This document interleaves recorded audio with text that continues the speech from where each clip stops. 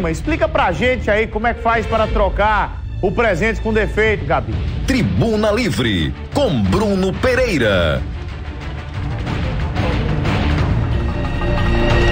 Oi, Bruno. É isso. Estou de volta para falar sobre é, a famosa troca dos presentes, né? Final de ano é um período realmente que as pessoas é, escolhem, decidem presentear, participam de amigos secretos. São muitas coisas acontecendo. Então, realmente, após o Natal, Muita gente volta, retorna às lojas para trocar um presente que às vezes não, não deu muito certo. E quem vai explicar para a gente como é que vai funcionar essa questão das trocas? Porque tem gente que acha que pode trocar em qualquer circunstância. Mas existem aí os critérios, né? Assim, a gente precisa saber se pode trocar só quando está com defeito, porque não gostou. Quem tem mais informações para a gente vai explicar tudo direitinho é Kessia Liliana, superintendente do PROCON. É isso mesmo, Kessia, para trocar o presente, então, só em caso de defeito, existem outras possibilidades. Bom dia. Bom dia, bom dia, Bruno, todos os telespectadores. Exatamente. O consumidor, no momento que ele vai comprar, seja para presentear ou para si, ele tem que observar qual é a política da troca da empresa. Por quê?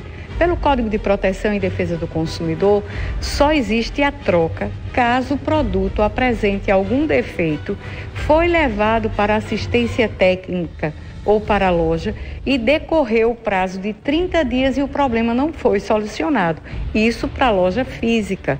Já aquele consumidor que fez compras virtuais através da internet, através de catálogo, ele tem o direito de arrependimento. E aí ele também pode fazer a troca. Por quê? Porque ele não pegou, ele não viu. Então é imprescindível verificar a política de troca da empresa, que geralmente quando ela bota troca em X dias como uma forma de fidelizar o seu cliente, passa a ter um efeito vinculante e a partir daí é obrigatório. Se a loja colocou um carimbo, se a loja tinha lá fixado em algum local que trocava mercadoria, ela tem que trocar. Porque, embora não, haver, não ocorra previsão legal, mas o princípio da informação é o que vale.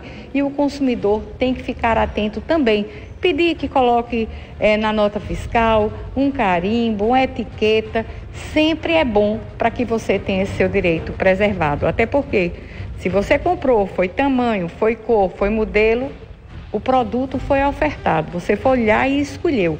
Sempre é bom verificar a política de troca.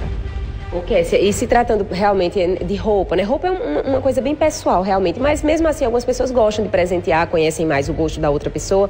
E aí, assim, se for acordado previamente com a loja, né? Porque a pessoa comprou ali um, um, uma peça de roupa para presentear.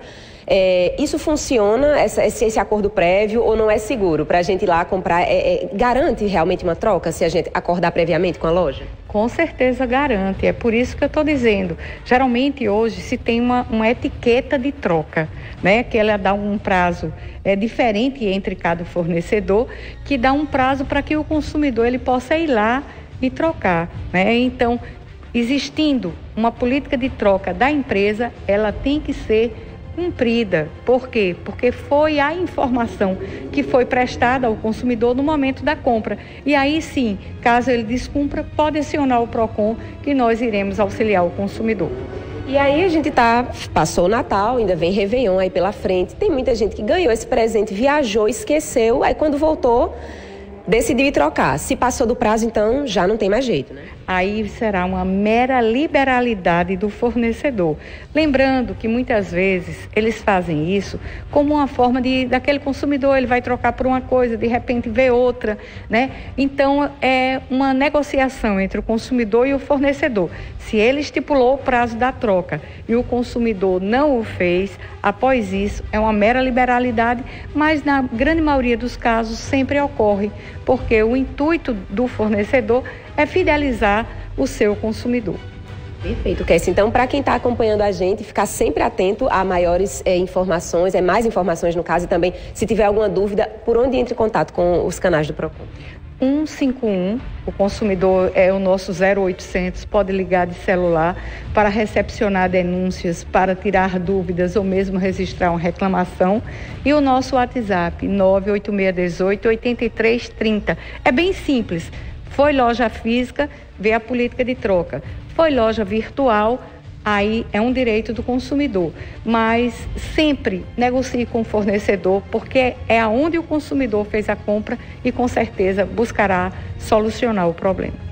Obrigada, que esse é o melhor caminho, realmente. Muito obrigada. Então é isso. Você que está acompanhando a gente aí chegou agora, tá vendo? A gente está falando sobre troca de presentes.